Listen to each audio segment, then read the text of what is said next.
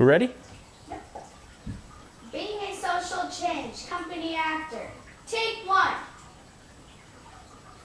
What have you learned about being an actor that does social change theater? What have I learned? I learned this. He how to project over and over again.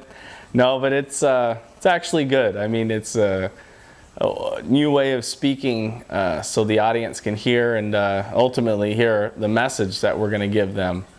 Um, it's um, it's a, it's a whole different experience for me. I've never taken a theater class in my life, and uh, in my mid 30s now, and I always enjoyed making videos and and uh, being in little skits we would do for fun growing up, but uh, never got to be in theater.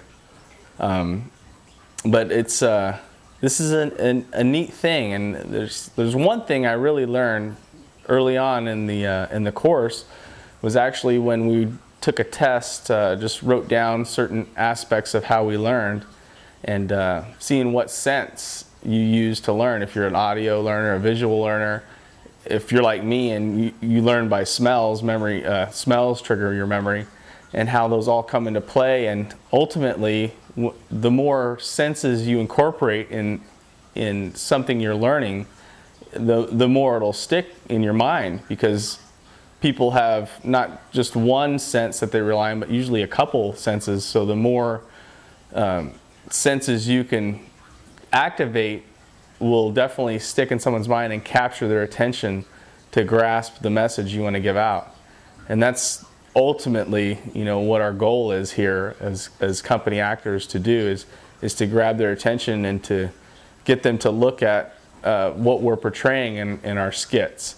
And uh, our skits are, are varied. I mean, they cover all topics of diversity in the workplace, um, uh, from sexual harassment to uh, age discrimination, things like that, and these touchy subjects that, you know, that definitely hurt people and destroy a work climate and make it not fun to go to work for these people.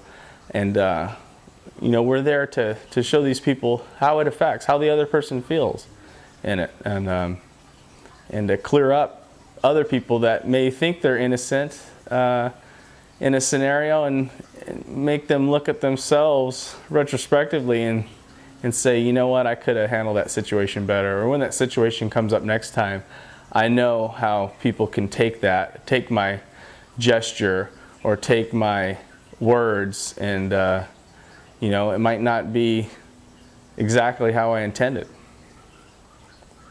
Yeah. How did insights from the book covering the play Trouble in Mind and your company scenarios all come together?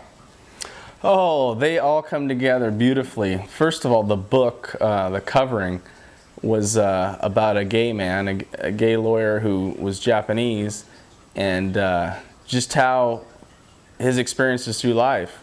And uh, the play Trouble in Mind was about a company of uh, black actors uh, in a time not too long ago where racism was really high and how they had to struggle with the climate of their times and being discriminated against because they were black.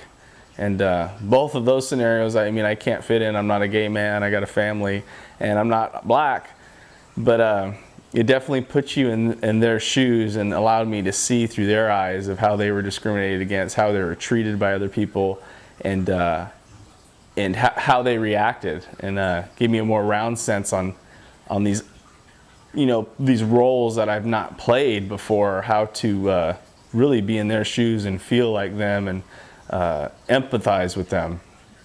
But uh, yeah, it's just great. And then our time in the company, uh, doing whether we're doing skits, learning from the interactive skits to learning how to work together as groups and collaborate with each other uh, has just been amazing. It's been a great time and. Uh, um, a really good experience and uh, you know stretching our abilities on how we just move our face to how we connect with our body to get different movements in.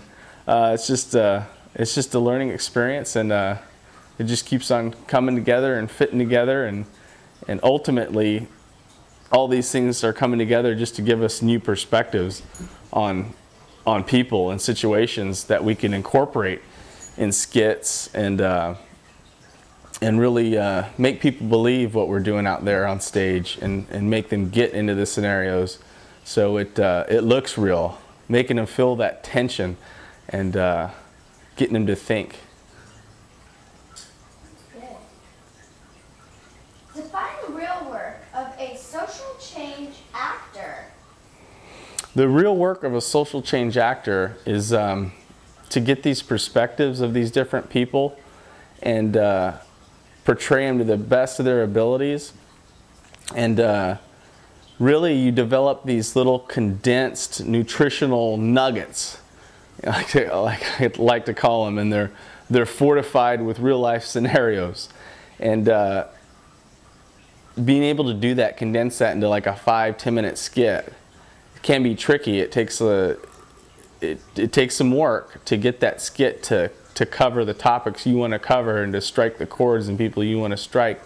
But uh, once you do that, it's just it's amazing because it gets uh, it gets people thinking. I mean, when I watched the first couple skits in class, it definitely you could feel it. You could feel the tension in the air. I like that. You can you, it puts you in that scenario and made you think of how that other person felt or how that person thought they felt, and um, being able to ask them questions, you know, after the skit's all over with, and they're still heightened from whatever conflict they have, and uh, they're arguing with each other on stage, and then you're asking a question, and they're angry at you because you know they're they're still in character, so you really feel the whole aspect, and you get to probe deeper to find out why they feel that way, and uh, really uh, get into those people and uh, and it does. It, it impacts the folks who watch it, and it and it helps them change behaviors. I believe, you know, if they truly watch it with the open mind and uh,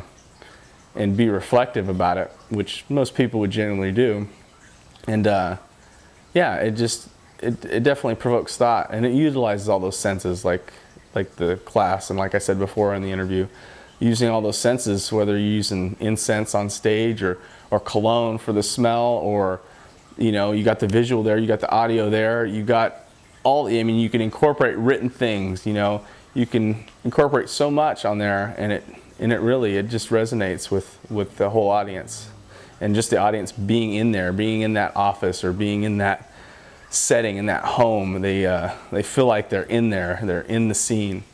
And it's just, uh, it's really powerful. I think it's powerful than any media. And uh, even though we do it on the smaller scale, we do it within the university. These skits are for different departments, and you know, focusing on stuff like maybe age discrimination or um, or just like ethnic discriminations, like with the Native Americans, um, and sexual harassment, things like that. But uh, that's great for these departments so they can learn and, and incorporate in that in their training for their people. But uh, also on on a big scale you know, doing skits like these and posting them on new media like YouTube could have major impacts on people and really get them to think and be interesting to watch. And um, it's just really amazing. It's just, it's just amazing. I love it. I love the Theater for the Social Change, and uh, I'll probably try to continue to do this wherever I may end up in the future. And I think that's a wrap.